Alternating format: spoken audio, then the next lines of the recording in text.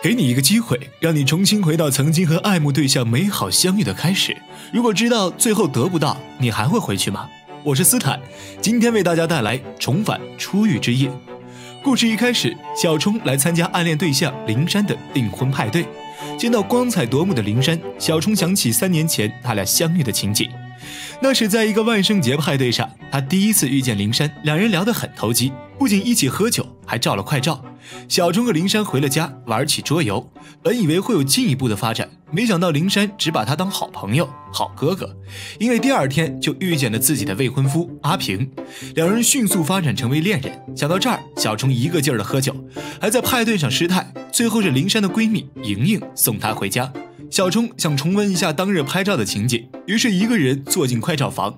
可是意想不到的是，第二天他一起床，发现自己回到了三年前。可他怎么都不敢相信眼前的事实，于是，在好友小黑和莹莹面前，看起来像个神经病。当晚，小冲好好的打扮了一番，去参加派对。凭借对灵山的了解，自己完全得到了他的信任，和他回了家。可是眼见就能亲到灵山，莹莹回家了，不仅打断了他俩，还告诉灵山小冲是多么脑残。于是，跟踪狂、变态的标签就贴到了小冲身上。这下好了，连朋友都没得做了。小冲又回到了快照间，打算再穿越回去。这回他听了好友小黑的话，打算化身成为一个派对渣男。可是林山一开始根本不搭理他，直到两人摔进泳池，小冲强吻了林山，他成功的和林山发生了关系。可是他没想到的是，后者只把他当做炮友，还是跟着阿平跑了。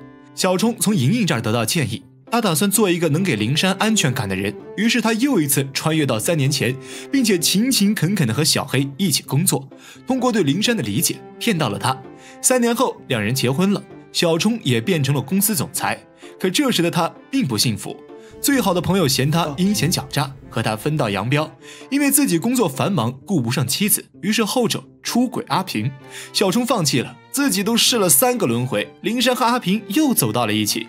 与其这样，还不如自己主动撮合这对命中注定的人。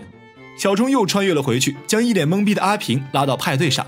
阿平和灵山提前见面，并且相爱了。小冲满意的坐到莹莹身边，可是却惊奇的发现，原来灵山那些和自己志趣相投的爱好都是敷衍自己的。她只是看到闺蜜莹莹经常提起，所以知道真正和自己志趣相投的是莹莹。四人成了好朋友。于是三年后，小冲跑来找莹莹表白，还强吻了她。可谁知莹莹听了小冲的话，和前男友复合了。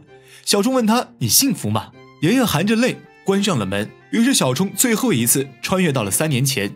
可是这回他什么都没有改变，灵山也遇见了阿平。时间慢慢的过，来到了三年后，又是在灵山的订婚派对上，小冲这回没有醉酒，反而主动和莹莹搭话，两人有着说不完的话，环球旅行，最后走到了一起。影片结束了，强扭的瓜不甜，哪怕你能感动他一时，可也耐不住他的心一直飘着。与其这样，还不如放眼身边那个一直为你出主意的人，或许就是真正关心你的人。